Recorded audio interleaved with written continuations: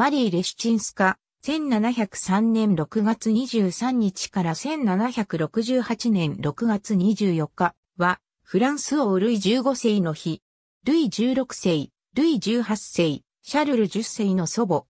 父は、ポーランド王、スタニスワフ・レシチンスキ、母は、王妃カタージナ・オパリンスカ。ポーランド名は、マリア・カロリーナ・ゾフィア・フェリチウタ・レシュチンスカ。チュシェブニツァで生まれた。父スタニスワフは、マリア誕生の翌年1704年に、スウェーデン王カール12世によって、9月のポーランド王に擁立された人物であるが、カール12世が1709年に、ロシアに敗れると王位を失い、一家は亡命して、アルザスで暮らした。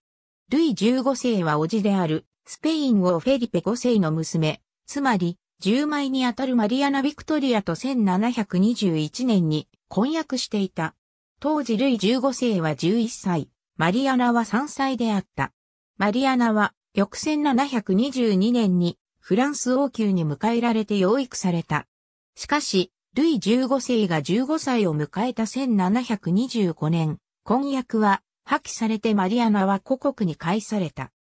王の着手が得られるようになるまで年月がかかりすぎることを不安視した最小、コンデ家のブルボン公、ルヤンリがスペインブルボン家との関係悪化を承知の上で下した決定であった。代わって王妃に迎えられることになったのが、この年22歳になるマリー・レグザンスカであった。信心深く教養豊かな女性であったと言われるが、健康で年齢的にも子供がすぐにでも産めそうだというのが、元ポーランドとはいえ弱小貴族の娘に過ぎないマリーが王妃に選ばれた理由であった。1725年9月5日、ルイ15世とマリーの結婚式が挙げられた。ルイ15世はマリーにすぐさま夢中になった。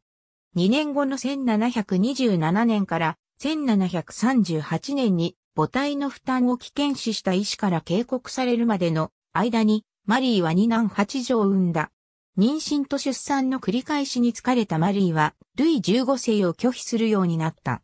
ルイ15世の寵愛が愛称たちに移った後は、信仰に生きた。